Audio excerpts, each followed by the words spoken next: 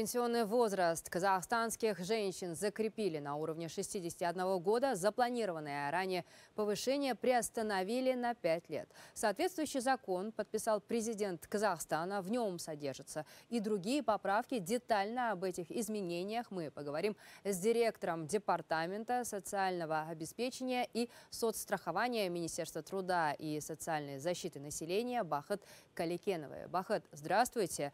До принятия этого закона пенсионный возраст казахстанских женщин с 2018 ежегодно увеличивали, и в 2027 он должен был достичь 63 лет. Это вызывало немало споров и обсуждений. С нового года вступает в силу мораторий. С какими факторами в первую очередь вы связываете это решение? Здравствуйте. А, да, со следующего года пенсионный возраст будет зафиксирован на уровне 51 год и это будет на, на протяжении пяти лет. А, данная мера была принята с учетом негативного влияния пандемии коронавируса на здоровье наших граждан, а также на продолжительность жизни в целом. А, в течение пяти лет последующих будут приняты меры по улучшению системы здравоохранения. А, в том числе будет особое внимание уделено медицине сельских округов, а также будут расширены сети, э, сети революционных центров для восстановления и поддержки здоровья наших граждан. Обсуждался ли в правительстве вопрос снижения пенсионного возраста женщин до 58 лет и могут ли пересмотреть пенсионный возраст мужчин в Казахстане? Как вы правильно заметили, уже с 2018 года у нас в Казахстане происходит поэтапное повышение пенсионного возраста женщин. На текущий момент пенсионный возраст является 60,5 лет, в следующем году 61 год. То есть это уже нормы действующего нашего законодательства, 61 год в связи с чем и зафиксирован планка пенсионного возраста на 61 год. А что касательно пенсионного возраста мужчин, то у них, как у женщин, поэтапное повышение происходило с 2018 года. Пенсионный возраст был и составляет на сегодняшний день 63 года. А после моратория, через э, пять лет, этот вопрос будут наверняка пересматривать. Есть основания предполагать, что снижение все-таки произойдет?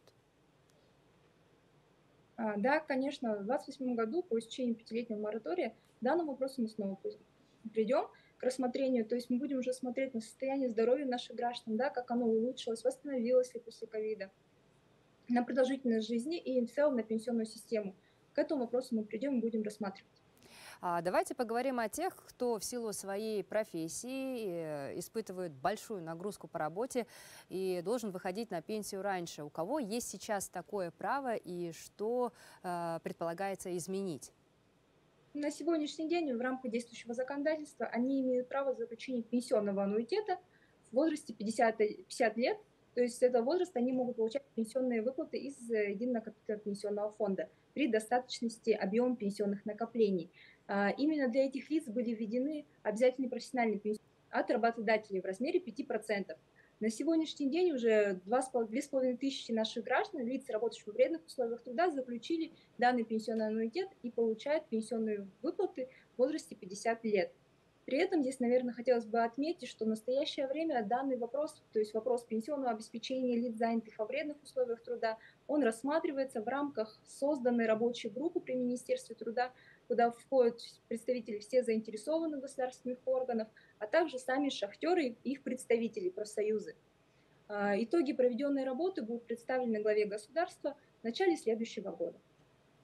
Вот со следующего года в силу вступают и другие изменения в части выплат по уходу за ребенком и увеличение минимальной э, базовой пенсии. Расскажите подробнее об этом. А, да, со следующего года, то есть в рамках проект э, закона о, молодежь, о молодежной политике да, социальном обеспечении, который глава государства недавно подписал, да, кроме приостановления повышения пенсионного возраста, предусмотрен ряд мер. Как было озвучено в послании главы государства, одна из таких мер – это поэтапное повышение базовой пенсии.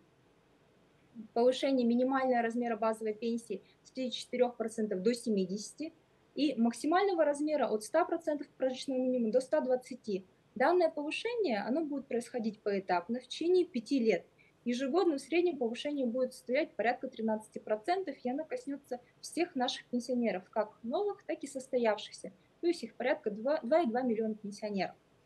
А, Еще одной мерой это является повышение максимального ограничения дохода для назначения солидарной пенсии.